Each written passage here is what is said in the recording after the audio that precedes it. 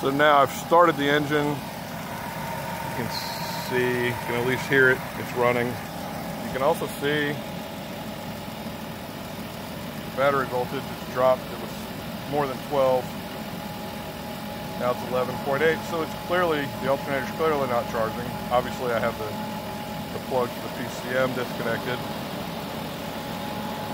But if I take this little plug right here that's connected to the back of the alternator and I'll touch it on the battery on the positive. You'll see what happens on the on the meter.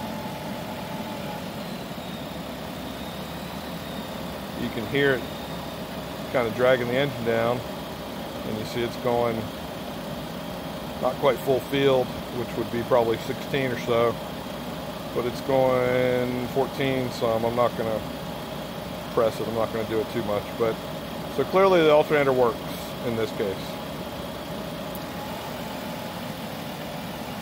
and with the wire off you can hear it drop back down voltage drops back down so that's an easy way to test these uh,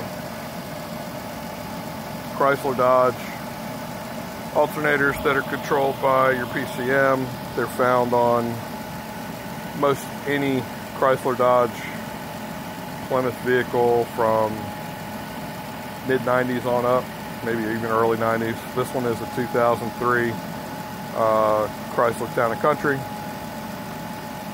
but they're all pretty much the same. They've got one big terminal for the battery and uh, one small plug that has two wires and those are the two wires that that you're connecting uh, to battery voltage and ground with this test.